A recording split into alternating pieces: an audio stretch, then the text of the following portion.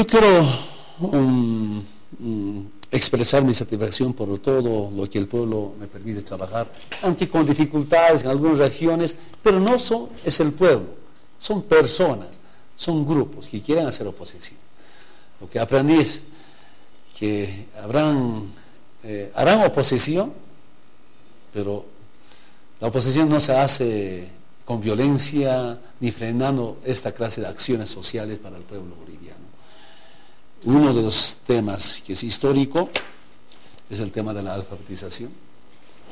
Primera vez, primera vez de tantos intentos. Saludo, ha habido muchos intentos de gobiernos, de instituciones en erradicar el analfabetismo en Bolivia.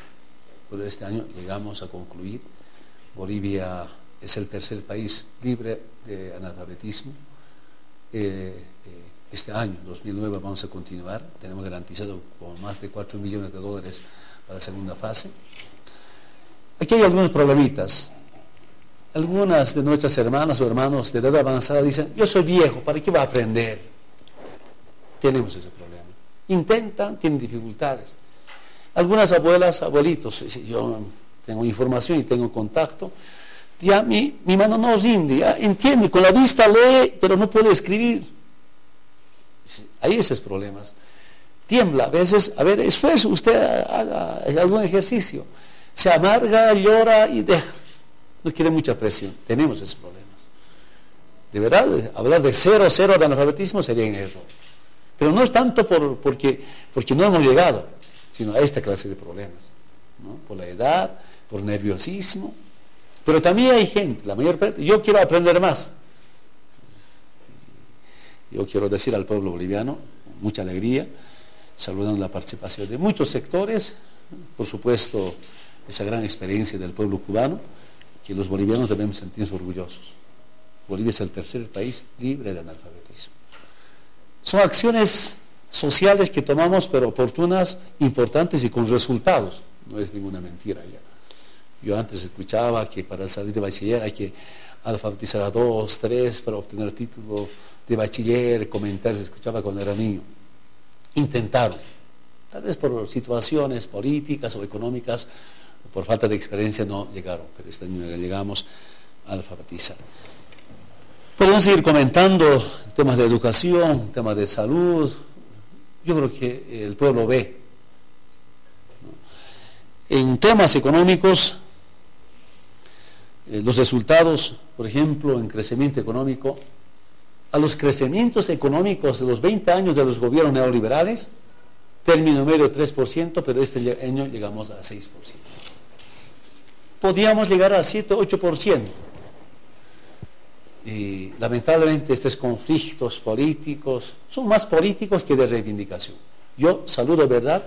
Conflictos que vienen, tal vez el presidente se ha olvidado Tal vez el ministro está descuidando. Tal vez otro ministro no está atendiendo. ¿Por qué razones? ¿Por falta de plata? Puede ser. O porque finalmente es la burocracia. Eh, y quiero rápidamente decirles, por ejemplo, en la evaluación que tuvimos, hubiera querido que uno de ustedes esté, pero el debate se ha centrado en la burocracia. Que la burocracia, lamento mucho decir, que no nos permite fácilmente avanzar. No todos los funcionarios están preparados para salir al pueblo. Y lamentablemente mi propuesta ante la nueva constitución política del Estado boliviano no ha sido recogida. Yo quería cambiar el término ministerio con servidor. Porque ser funcionario público, porque eh, con la plata del pueblo recibes el sueldo. si, si, tú vives con la plata del pueblo y con el impuesto del pueblo, o con la plata que vienen los recursos naturales, pues que estás obligado a servir al pueblo. No es comerciante, no eres un, un, simple albañil, eres servidor público, estás cumpliendo una función eh, ante el pueblo mediante el Estado. hay que meterse en la mente y no es posible que vuelvase mañana, que todo es no, no nos sirve.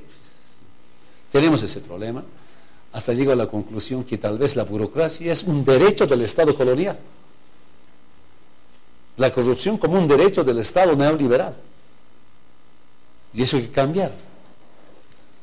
Entonces, tuvimos problemas de esta naturaleza y quién sabe, superando los conflictos políticos o la burocracia, el crecimiento económico hubiera sido mucho más. Yo saludo, por ejemplo, estaba revisando los datos de CEPAL, primero es Uruguay, con 11% de crecimiento económico en el 2008. Bolivia está en el cuarto, tercero, cuarto o quinto lugar, no me acuerdo exactamente, datos de CEPAL. Saludamos, hemos avanzado bastante, pero podríamos avanzar más. Uno de los problemas, pero estamos, si hacemos una, tabla comparativa de los 20 años del gobierno neoliberales, un 6% de crecimiento, y nuestro gran deseo es seguir mejorando el crecimiento. Claro, el crecimiento, en los datos se demuestra, a veces no se expresa, también quiero ser muy sincero, eh, en la gente pobre. Y ahí yo saludo nuevamente los datos del CEPAD. CEPAD afirma públicamente que se está y se atacó a la pobreza. No es suficiente. El desempleo. Digan que nos digan algunos sectores la oposición que el desempleo ha crecido, pero felizmente la información de organismos internacionales es totalmente diferente. Eh, en temas macroeconómicos, lo que yo resalto es el crecimiento en las reservas internacionales. Con 22 de enero de este año, cumplo tres años de presidente. ¿Y cuánto digamos? 7.720 millones de reservas internacionales. Si sumamos las reservas del sector privado, llegamos a 8.000, casi 700 millones de reservas internacionales. Es de 7.720 millones de dólares, es el Estado-Estado. ¿Y cuánto era enero del 2006. Era 1.700 millones de reservas internacionales. Y ahora lo que debemos preguntarnos, esta plata, ¿de dónde viene? Yo quiero afirmar que es gracias a la nacionalización y gracias a la lucha del pueblo boliviano, incluido Morales, los movimientos sociales antes de ser presidente, obligar al Congreso Nacional la modificación de la ley de hidrocarburos. Si no había nacionalización, estoy seguro que no teníamos estas reservas internacionales. Recordemos a ver, febrero del 2003, instrucción del Fondo Monetario Internacional para bajar el déficit fiscal, impuestazo o gasolinazo. El gobierno de Gonzalo Sánchez Lozada decide impuestazo, impuesto espero no equivocarme, creo a la, cualquier funcionario que gana 2.000 bolivianos un impuesto. Febrero negro. Febrero negro. Aunque yo no haría febrero negro, febrero de luz. Sí, nos ha costado, ha habido luto, sangre, pero nos, ha hecho despertar. ¿Por qué? Eso era para que Bolivia no tenga mayor déficit fiscal.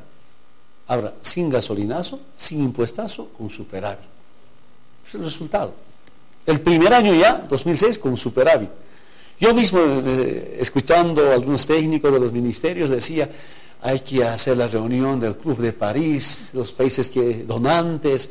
Algunos me decían como el presidente es indígena, campesino, va a venir ese grupo a asesinar acá, hay que invitar a asesinar acá. Algunos decían que hay que ir allá anticiparnos para no tener problemas pero entre eh, septiembre, octubre revisamos los datos económicos, eran muy alentadores, el ministro de Hacienda muy contento, porque había superávit, no había por quién, de quién prestarse plata para pagar aguinaldos. Esa es la historia de Bolivia. Equipos eh, de gabinete eh, económico especialmente se iban a Estados Unidos a buscar plata, donaciones, créditos para el tema de sueldos y especialmente el tema de mm, aguinaldos.